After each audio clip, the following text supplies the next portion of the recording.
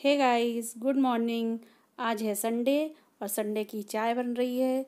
Morning के सारे जो रूटीन काम है वो हो रहे हैं। यहाँ बादाम रखे हैं, उनको छीलना है अभी। और मैंने सुबह से ही कपड़े डाल दिया है, क्योंकि अभी बारिश का टाइम है, इसलिए जल्दी फटाफट कपड़े साफ़ हो जाएँ। और आज मैं हस्बैंड का फेवरेट ब्रेकफास्ट पोहा बना रही हूँ, और वो भी आलू वाले। मैं बहुत कम आलू यूज़ करती हूँ। आज मैं आप लोगों के लिए चॉकलेट आइसक्रीम की रेसिपी लेकर आई हूँ।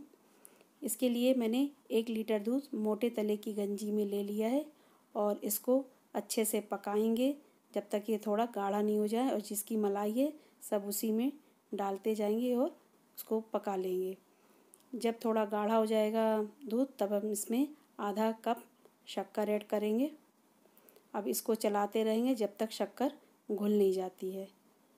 जब ये शक्कर घुल जाएगी, दूध और कम हो जाएगा अच्छा गाढ़ा हो जाएगा, तब तक हम इसको पका लेंगे। दूध एक लीटर से आधा लीटर हो जाता है, तब तक हम पका लेते हैं। अब गैस को बंद कर दिए। यहाँ मैंने three tablespoon cocoa powder लिया है। इसी दूध को थोड़ा सा इसमें डाल लिया कोको पाउडर में और इसको अच्छे से मिक्स कर लेंगे।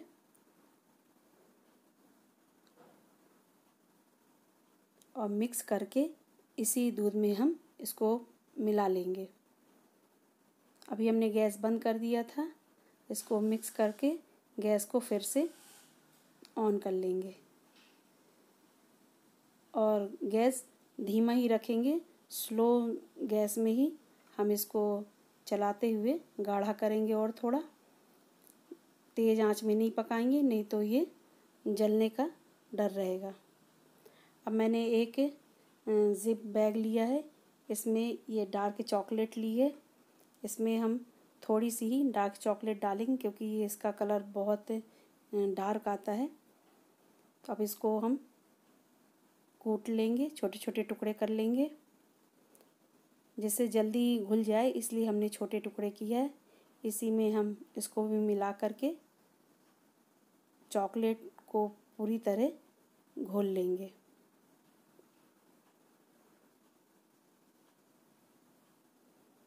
चॉकलेट हमारी जब अच्छे से घुल जाएगी और थोड़ा सा थिक हो जाएगा कंसिस्टेंसी इस तरह रहेगी क्योंकि अभी ये ठंडा होने पे और गाढ़ा होगा। अब हम गैस को बंद कर देंगे।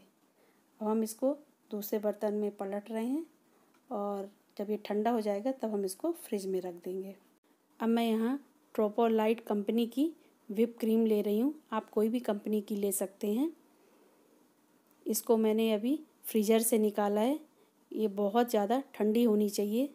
मैंने यहाँ दो कप एक बोल में विप क्रीम निकाल ली है।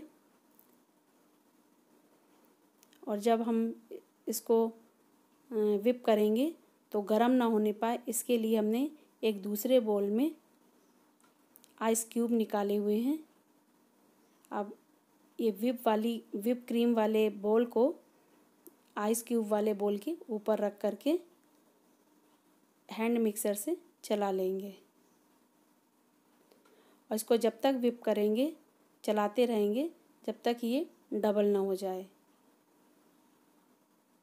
बीच बीच में रुक रुक के पहले कम से स्टार्ट करेंगे, फिर धीरे धीरे हाई पे ले जाएँगे। तो बहुत ही अच्छी स्मूदी क्रीम हो जाएगी। ये देखिए, हमारी कितनी ज़्यादा हो गई है क्रीम। अब जो हमने चॉकलेट वाला लिक्विड बनाया था, उसको मैंने फ्रिज से निकाल लिया है। ये भी बहुत ज़्यादा चिल हो गया है, ठंडी हो गई है।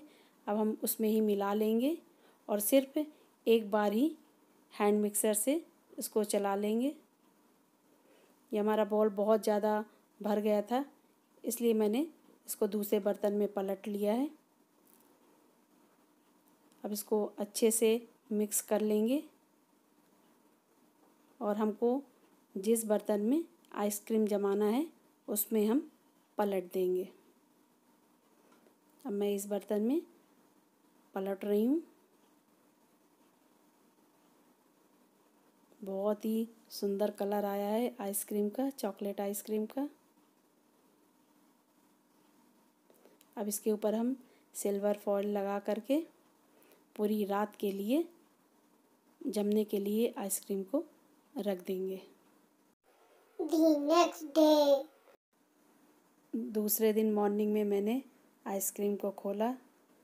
देखिए हमारी चॉकलेट आइसक्रीम बिल्कुल जमकर रेडी हो गई है। बहुत ही अच्छी बनी है। अब हम इसको स्कूप करेंगे इसको निकालेंगे। बड़ी आसानी से निकल आती बहुत ही नरम बनी है, बहुत ही टेस्टी दिख रही है। खाने में भी उतनी ही टेस्टी है। मैंने इसको एक बॉल में निकाला है और इसको चोको चिप से गार्निश कर दिया है। बहुत ही टेस्टी लगती है। बच्चों को तो बहुत ही पसंद आती है ऐसी आइसक्रीम अगर वीडियो पसंद आए तो प्लीज़ लाइक शेयर ज़रूर करें